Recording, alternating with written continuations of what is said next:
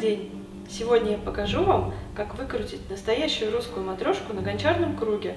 Но она будет не из дерева, а из самой настоящей глины. Начнем. Для того, чтобы сделать матрешку, мне понадобится примерно 300-350 грамм глины, гончарный круг и отличное настроение. Глину нужно будет хорошенько перемять. Нужно будет выбить из нее все пузырики воздуха. Она должна стать ровной, однородной, без каких-то заломов и трещин на поверхности. Пробиваю ее. После того, как глина хорошо пробита, можно прилепить ее на гончарный круг.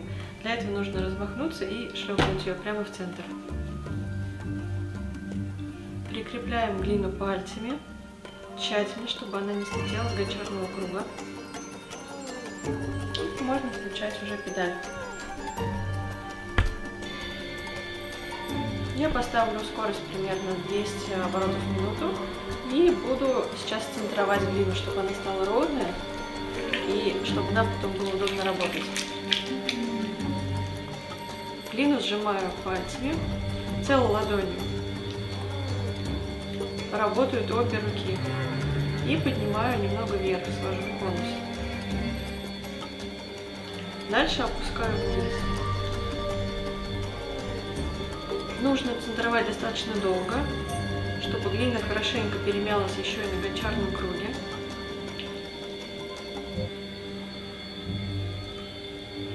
И, как говорится, хорошая центровка – залог хорошего изделия, ровного и симметричного.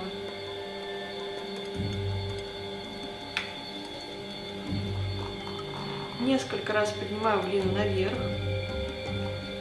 и несколько раз опускаю ее вниз.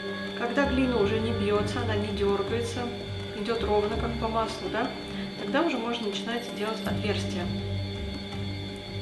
Делаем в центре отверстия двумя пальцами и разводим их в стороны. Вот у нас уже такая заготовка получилась, да? И сейчас проверяю дно, ровное ли у нас дно. Дальше буду работать со стенкой. Это толстая достаточно стенка, она будет сейчас э, выровнена наверх. Начинаю тянуть стеночку вверх. Работают у меня две руки, два пальца одной руки и два пальца другой руки. Глина проходит как бы между ними. Остальными пальцами я просто придерживаю глину. Периодически свожу ее к центру, чтобы она не раскрывалась. Для начала нам нужно выкрутить что-то наподобие цилиндра. Ну, даже можно что-то такое ставить, такую форму уже.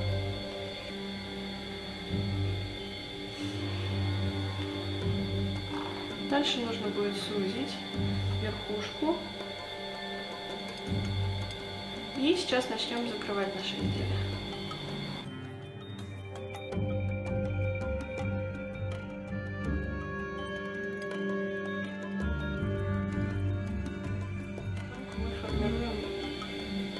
Сначала тулово, потом голову матрешки.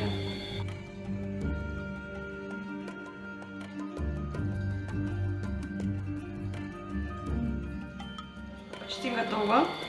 Сейчас я беру циклю и чищу стенку матрешки. Убираю лишний шликер, лишнюю воду и немножко выравниваю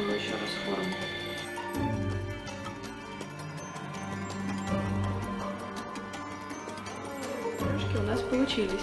Они были обыжены на температуре 1030 градусов. Сейчас они готовы к росписи.